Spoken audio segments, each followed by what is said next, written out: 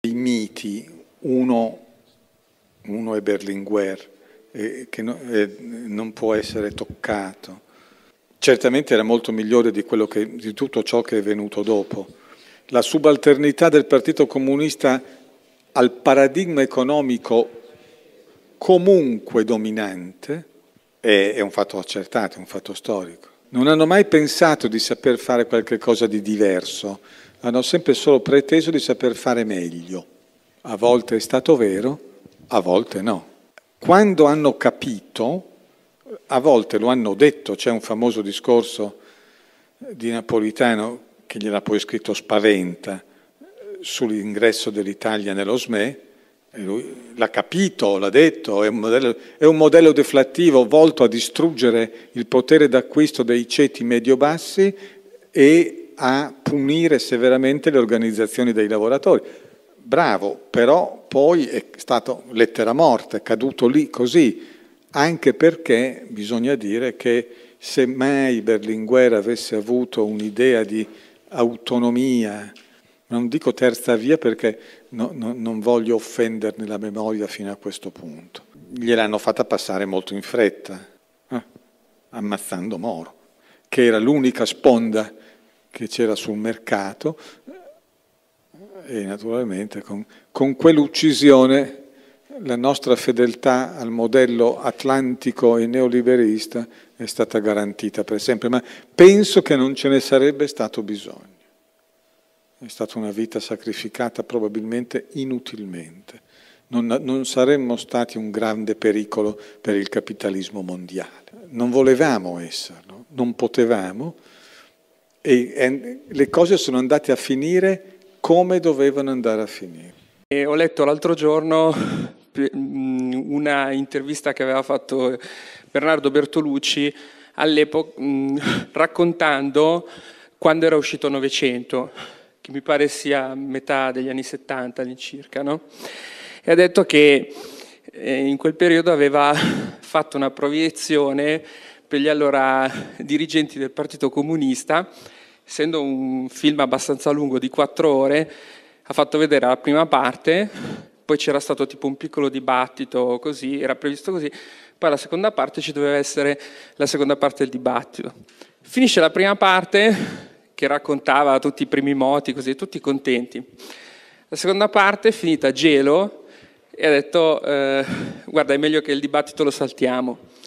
Poi gli hanno spiegato che era perché in quel film lì faceva vedere questa specie di processo maoista e questa cosa non era stata vista bene perché gli hanno spiegato, guarda che in questo periodo noi stiamo cercando di avere un'interazione con eh, diciamo, il padronato, chiamiamola così.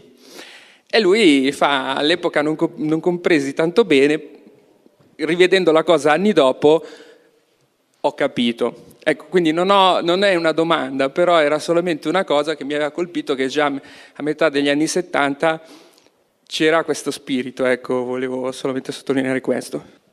Vuole dire qualcosa? meglio che non la dica. È meglio che non la dica perché abbiamo dei miti. Uno, uno è Berlinguer, eh, che no, eh, non può essere toccato. Certamente era molto migliore di, che, di tutto ciò che è venuto dopo, ma la subalternità del Partito Comunista al paradigma economico comunque dominante è, è un fatto accertato, è un fatto storico.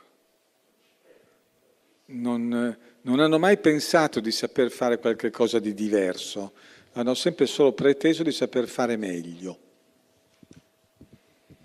A volte è stato vero, a volte no. Quando hanno capito, a volte lo hanno detto, c'è un famoso discorso di Napolitano, che gliel'ha poi scritto Spaventa, sull'ingresso dell'Italia nello SME, l'ha capito, l'ha detto, è un, modello, è un, modello, deflattivo volto a distruggere il potere d'acquisto dei ceti medio-bassi e a punire severamente le organizzazioni dei lavoratori.